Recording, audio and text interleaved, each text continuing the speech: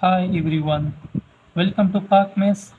In this video, I am going to solve this exponential math problem that is 2 raised to power x square divided by 4x is equal to 8. So let's start the video. First of all, we will rewrite this question in solution and then we will try to solve it. So the question is 2 raised to power x square divided by 4 raised to power x is equal to 8.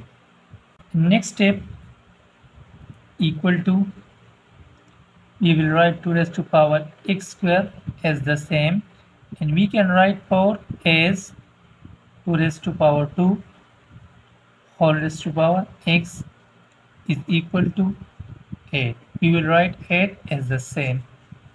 In the next step equal to 2 raised to power x square. Here we will multiply the powers with each other by using an exponential formula that is a raised to power m whole raised to power n is equal to a raised to power m multiply n. So by using this formula this denominator will become 2 raised to power 2x is equal to and we can write it as 2 raised to power 3 here on the left hand side we again use an exponential formula that is a raised to power m divided by a raised to power n is equal to a raised to power m minus n. So by using this formula, the left hand side of this equation will become 2 raised to power x square minus 2x is equal to 2 raised to power 3. Now my dears, look it to both sides of this equation. Here the bases are same. So when the bases are same, we will compare the powers with each other. So it will become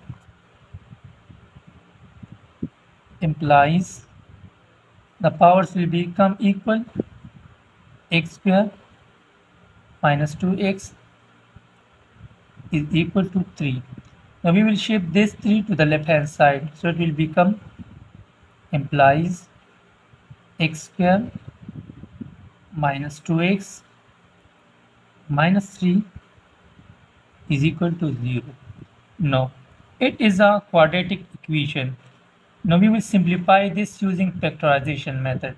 So here we will find two numbers whose product is minus 3 and whose addition is minus 2. So these numbers may be minus 3 and plus 1. By multiplying these two numbers gives him minus 3 and by adding these two numbers gives him minus 2. So let's substitute minus 2x with minus 3x plus x. So it will become implies x square plus x minus 3x minus 3 is equal to 0. Next, let's take x common from these two terms and minus 3 common from these two terms so it will become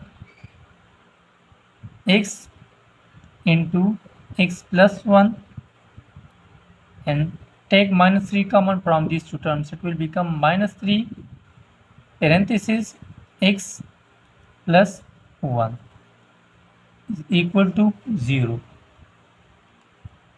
no in these two terms let's take x plus 1 common so it will become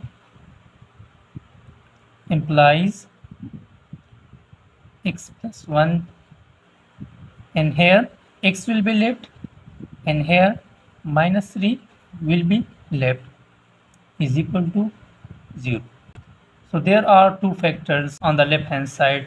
So it will become here either this term will be equal to 0 or this will be equal to 0 so we will solve these separately x plus 1 be equal to 0 or x minus 3 will be equal to 0. So here x we will shift this plus 1 to the right hand side. So it will become minus 1 and here we will shift this minus 3 to the right hand side. So it will become plus 3 so x is equal to minus 1 and x is equal to 3 are the possible solutions of this exponential math problem. And in last don't forget to subscribe our youtube channel for the solution of viral math problems and for the olympiad question solutions. Thank you so much. Thank you so much for watching this video